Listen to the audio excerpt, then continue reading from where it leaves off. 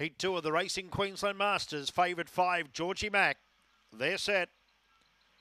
Off now, Georgie Mack about third into stride, but now pushing forward with Regal Opal. Up to third, Monica's Joy, followed by Ambi Stream. Hey, Hope he caught wide or going very deep. You can pay me. Check to the rear. Oh, there's trouble back in the field.